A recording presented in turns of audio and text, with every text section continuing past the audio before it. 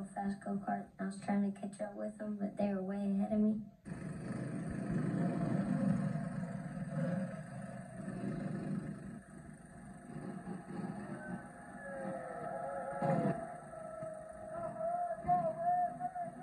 My brother's still right behind us. You know, just making faces and you know, scaring me. I had the gas all the way down. And we were going awfully fast. Seemed like 50 miles an hour.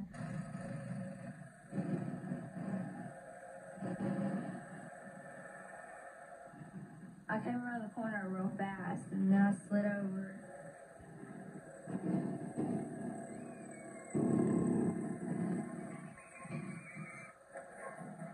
All of a sudden, there was a, just a quick turn right in front of us. What happened? Hey, Jack. Hey, Jack. Hey. It just happened so quick.